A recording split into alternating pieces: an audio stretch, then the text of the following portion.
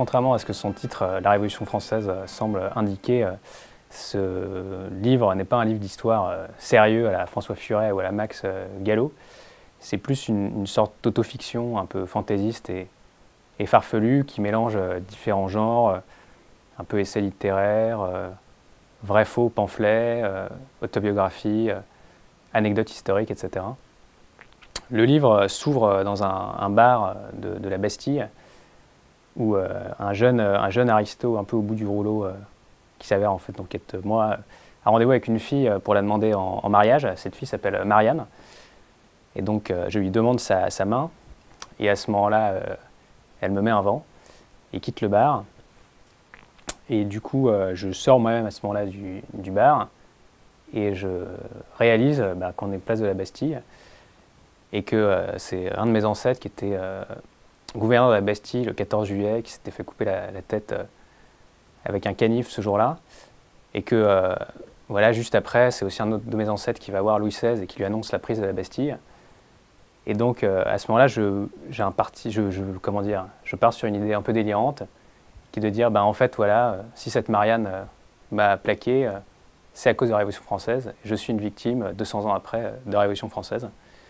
Et donc c'est un peu un prétexte, voilà, initiale pour partir dans une, balade sur euh, voilà, euh, des histoires d'ancêtres qui se font tuer en, au moment de la Révolution française et de propres histoires euh, voilà, plus ou moins tristes de, de ma vie. et le livre est un peu à, à double détente, parce qu'il y a un peu, un double retournement ou détournement. un retournement historique, qui consiste à prendre à l'envers euh, le discours officiel qu'il y a maintenant, qui serait qu'en gros, euh, la France serait sortie de l'obscurantisme en 1789. Donc comme moi je me présente pour rire euh, comme une victime de la Révolution française, je détourne un peu tout ça dans un esprit un peu, enfin ce que je voulais faire c'était un, peu dans un esprit un peu à la Philippe Roth ou à la Gombrowicz, espèce de, voilà, de tournure d'esprit un peu absurde et un peu farcesque pour raconter l'histoire de France d'une autre façon. Et euh, l'autre retournement un peu qu'il y a dans le livre, c'est comme il y a pas mal de souvenirs euh, personnels, c'était de faire une autofiction qui soit un peu différente, puisque l'autofiction euh, de Annie Arnaud à Christine Anco, enfin on pourrait prendre plein d'auteurs, c'est souvent centré sur des problématiques très intimes. Et si on voulait être méchant, on pourrait dire que limite c'est raconter son évier.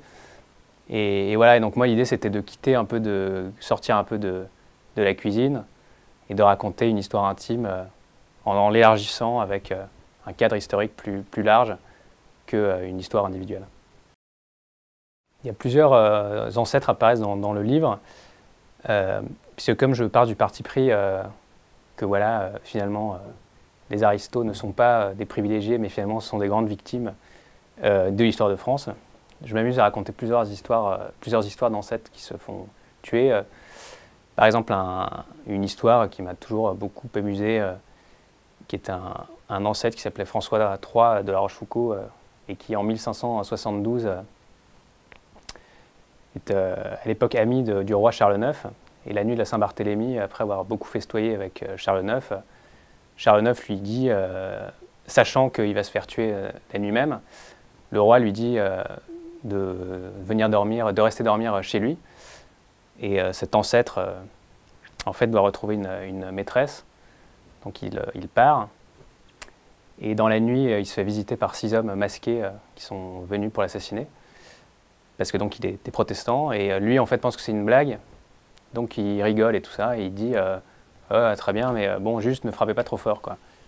Et finalement, bah, il, se fait, il se fait zigouiller. Donc c'est extrêmement triste.